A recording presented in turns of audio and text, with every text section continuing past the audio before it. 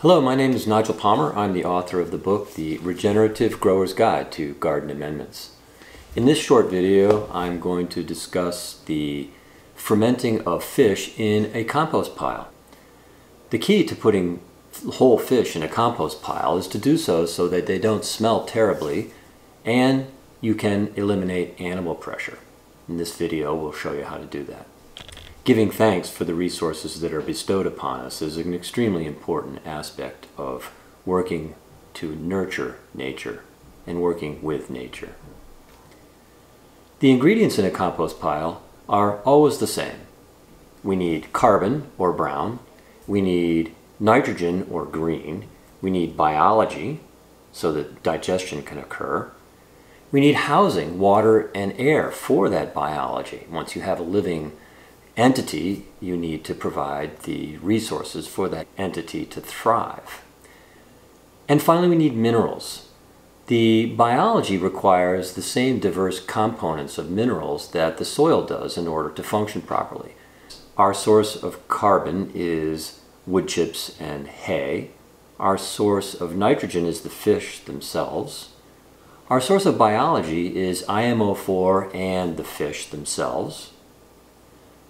Our source of water and air are the water we provide as we build the pile, as well as natural rainwater that will occur later on, and the airspace provided by the wood chips and the hay as we build the pile.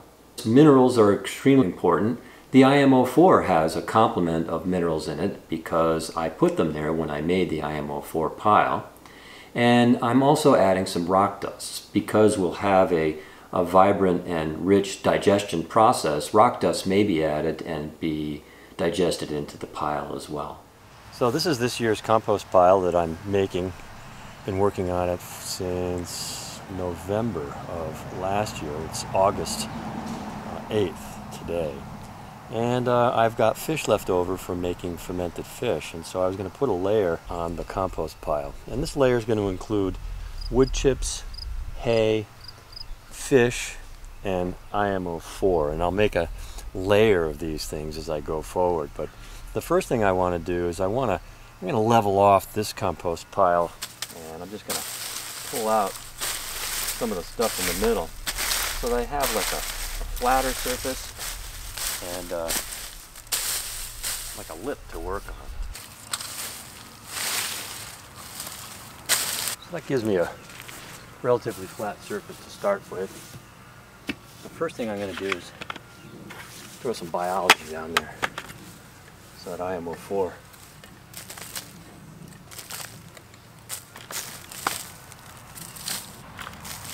This stuff smells so good.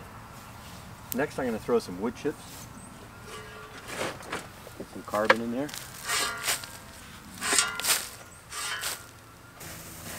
Hay.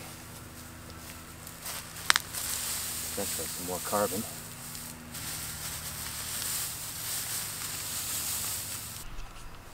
Next I'm going to water it. Put some water down there. I don't want everything so dry. Next some minerals. This is a mixture of basalt and gypsum.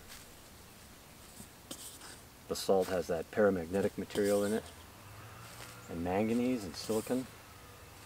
The gypsum has calcium and sulfur in it, just a little bit. And then finally the fish. And the fish liquids.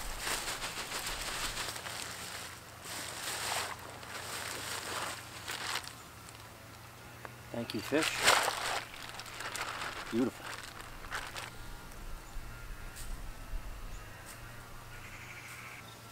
There we have it. Thank you. Thank you, thank you.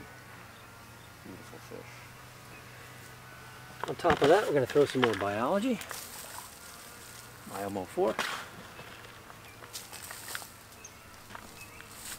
The IMO provides soil for housing as well as biology to facilitate the digestion process. A really powerful ingredient. Next we'll add a little bit more carbon in the form of wood chips.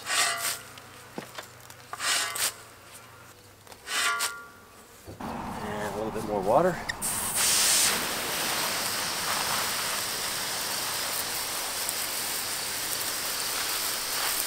And then finally, some more hay.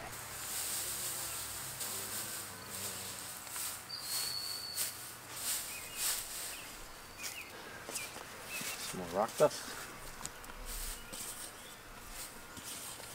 Careful not to breathe it. And finally some water again.